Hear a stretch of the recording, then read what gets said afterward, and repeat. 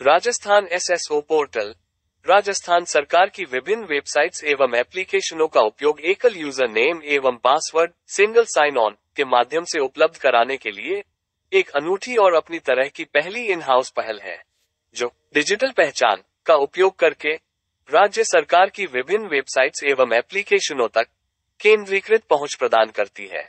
अब आपको अलग अलग यूज़र नेम और पासवर्ड याद रखने की आवश्यकता नहीं है। एसएसओ के माध्यम से राजस्थान सरकार के अधिकारियों, कर्मचारियों, निवेशकों ई मित्र संचालकों एवं नागरिकों को अब एक डिजिटल पहचान दी जा रही है।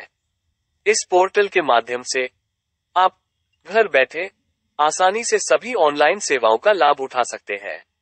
ये पोर्टल सभी नागरिकों को एक ही प्लेटफॉर्म पर विभिन्न विभागों की ऑनलाइन सेवाओं, जैसे ई मित्र जन आधार, रोज़गार सेवा विभिन्न भर्ती परीक्षाओं के लिए ऑनलाइन फॉर्म भरना। चिरंजीवी स्वास्थ्य बीमा योजना। बिजली, पानी के बिल भरना, राजस्थान संपर्क पोर्टल, आरटीआई पोर्टल। स्कॉलरशिप आदि अनेक सेवाएँ उपलब्ध कराता है। इस वीडियो में हम जानेंगे कि राजस्थान आईडी किस प्रकार बनाई जाती है।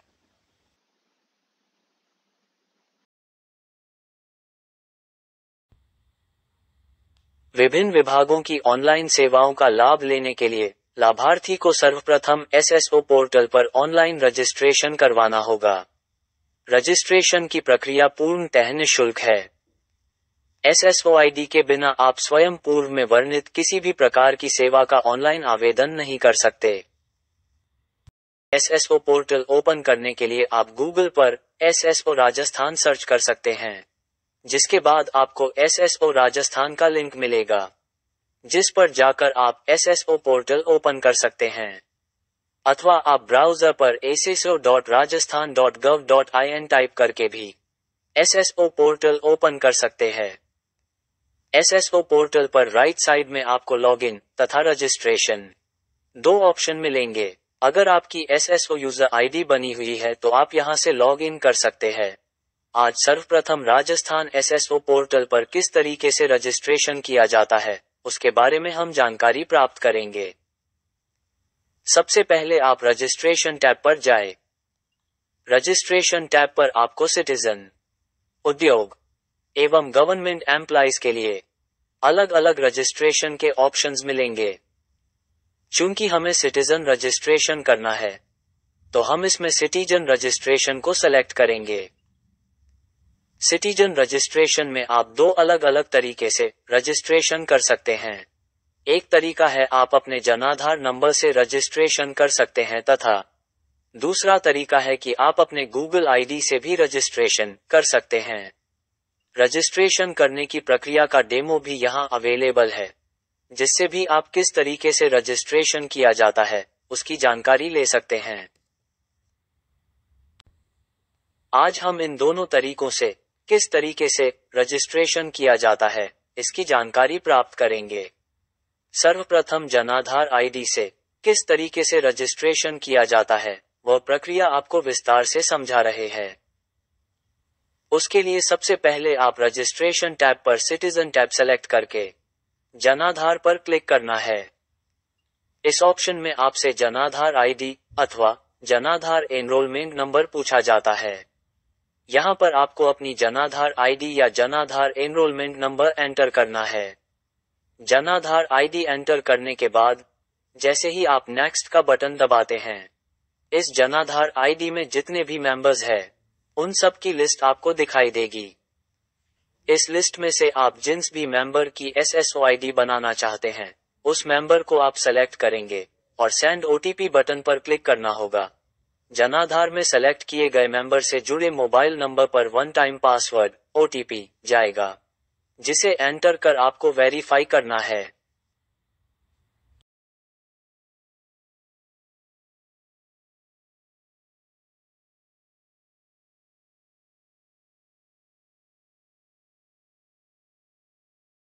ओटीपी वेरीफाई करने के तुरंत बाद, यह आपको एस एसएसओ रजिस्टर पेज पर ले जाएगा।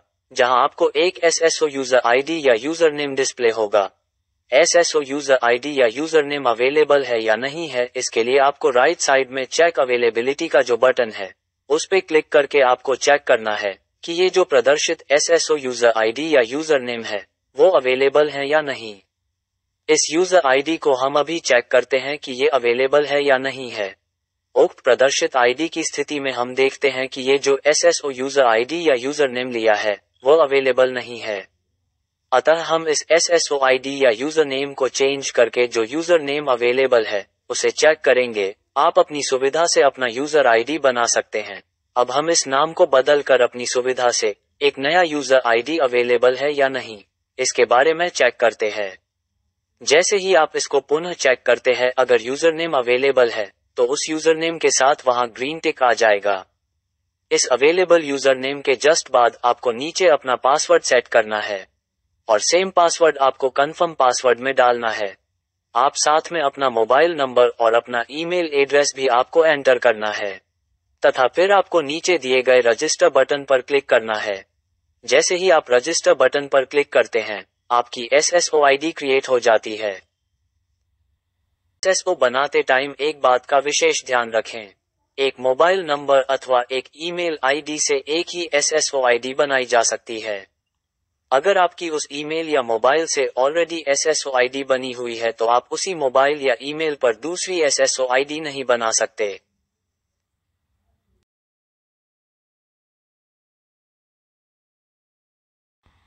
अब हम गूगल आईडी से किस प्रकार से S S O I D बनाई जाती है, उसके बारे में जानकारी लेंगे।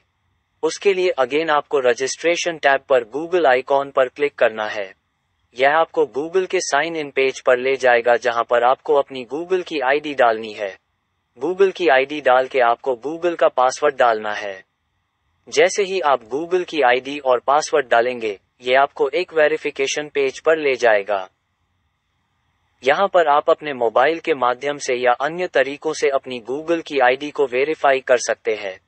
यहाँ पर हम मोबाइल नंबर के माध्यम से गूगल आईडी को वेरीफाई करने जा रहे हैं।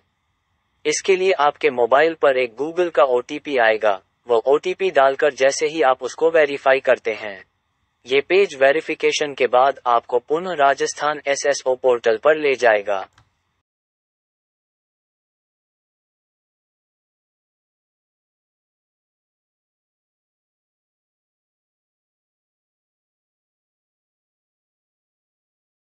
एसएसओ पेज पर रीडायरेक्ट होने के बाद पुनः एसएसओ रजिस्टर वाला पेज खुलेगा, जहाँ पर हमें अगेन चेक अवेलेबिलिटी के माध्यम से यूज़र नेम अवेलेबल है या नहीं है, वह चेक करना है, तथा इसके बाद अपने पुनः user name password mobile number और ईमेल एंटर करने के बाद रजिस्टर पे क्लिक करना है।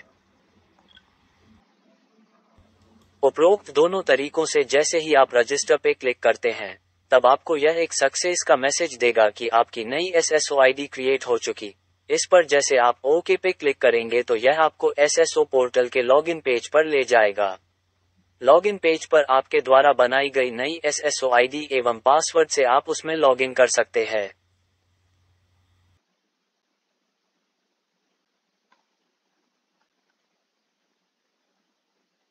प्रथम बार लॉग इन करने पर एसएसओ पोर्टल पर सर्वप्रथम आपको एसएसओ प्रोफ़ाइल पेज ओपन होगा।